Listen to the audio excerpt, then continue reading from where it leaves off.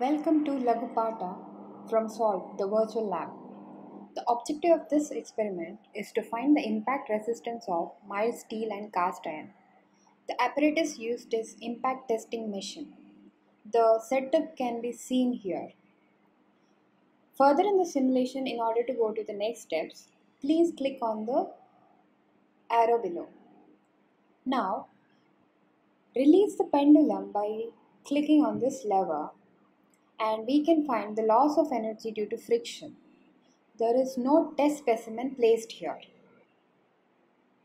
Next, we select the test specimen. Here, I'll be selecting cast iron. Click on the cast iron.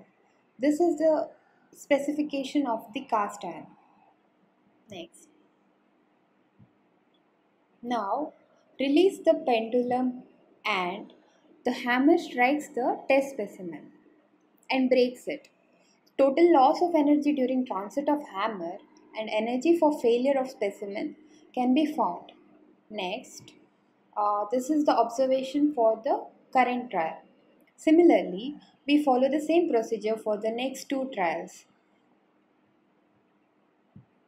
Variation in the different values for different trials is noted and average energy for failure of specimen can be found.